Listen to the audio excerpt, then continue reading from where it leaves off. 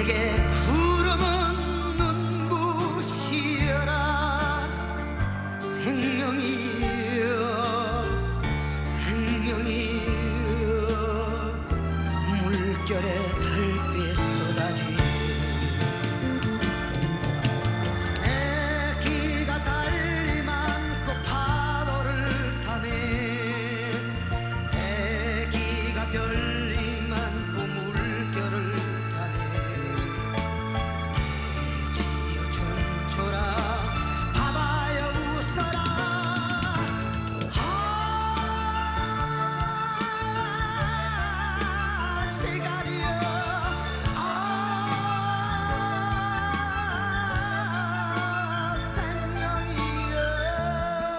네, 가왕 조용필 씨의 절창 생명이라는 노래입니다.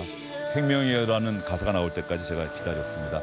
지금 저희 뒤에 보셨겠습니다만 조동찬 기자가 이, 이 내용도 아마 누구보다 잘 알 겁니다.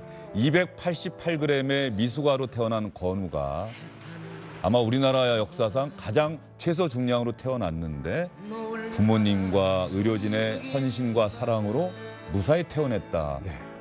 이 정말 감동적인 소식이에요. 네, 국내에서 200g대가 미숙아가 태어나서 생존한 건 첫 사례고요.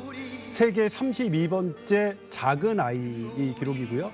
그리고 5개월 동안 애- 애가 이제 24주 만에 태어났는데 5개월 동안 중환자실에서 치료를 받고 엄마의 모유, 모유가 조금 도움되니까 어머니는 경남 함안에 사시는데 어... 예, 왕복 13시간 거리를 왔다가 일주일에 두 번씩 왔다 갔다 하시면서 본인의 모유, 모유를 아기에게 전달했고 그런 어마어마한 감동이 숨어 있는 그런 이야기. 예, 오늘 8시 뉴스에서도 아마 보도가 될 것으로 네. 생각이 되는데 288g으로 태어났다고 해서 병원의 의료진들은 이 아기를 88이라고 불렀다고 합니다.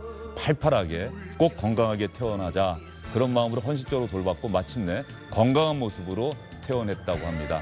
이걸 우리가 기적이라고 하죠. 그런데 시청자 여러분, 기적은 그냥 이루어지는 게 아닌 것 같습니다. 헌신과 사랑, 반드시 기적의 곁에는 헌신과 사랑이라는 두 단어가 함께한다는 사실을 건우가 건우 가족이 보여줬습니다.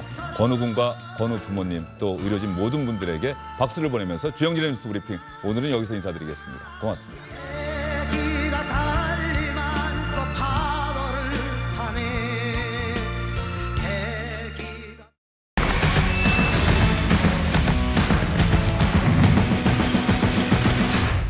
안녕하십니까 주영진입니다. 더 많은 뉴스와 라이브 이벤트를 보고 싶으시다면 화면 오른쪽을 눌러서 구독해 주시기 바랍니다. 저희 SBS 앱을 다운로드 받으시면 뉴스 속보 알림도 받아 보실 수 있습니다. 텔레비전으로도 SBS 뉴스, 유튜브로도 SBS 뉴스 잊지 마시기 바랍니다.